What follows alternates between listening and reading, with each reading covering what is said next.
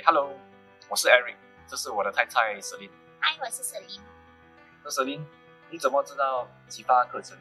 哦，就碰巧有一天，呃，我坐我的同事的车回家，所以我的同事就跟我说，他的呃朋友叫他来启发，说呃，他就讲，哎呀，他不想去耶，很像很很很闷，很无聊，很浪费时间。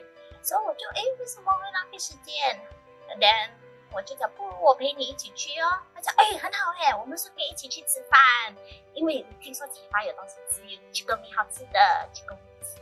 所以我就 OK，我陪你去啦，我们就两个人就一起去。所以我们就呃上了启发第五啊。嗯。可是有什么东西打动你？到最后？哦，嗯，那个呃，因为他们也是 small group discussion。就从那边啊，有一些他们讨论的一些话题，基本上都是比较开放，嗯，说没有没有说是是针对任何的呃话题，说呃参加的会员都都可以都可以很自由的发挥啊和分享自己的经历，嗯，从那个就觉得诶，其实挺有趣的，嗯，说过了几个几个过了过了。上半段的 Alpha 啊的启发，我也是觉得，哎，呃，可能可以多了解一下这整个啊，这整个过程是如何的。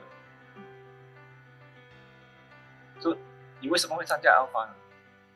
其实，嗯，除了好吃的东西，我去了第一堂课之后，我就觉得，哎，其实那些东西都很很接近我们日常，很接近，嗯，我个人。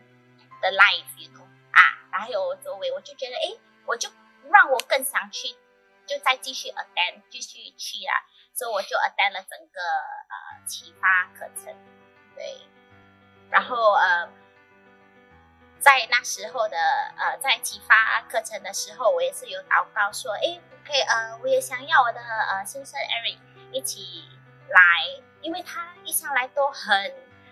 呀，像他刚才讲的啦，他觉得很唠叨啦，很我很无聊啦，来找东西，所以我也是有祷告着，哎，我也想要他进其他，然后呃来 find out，来知呃了解多一点，说哎，他真的来了，说呀，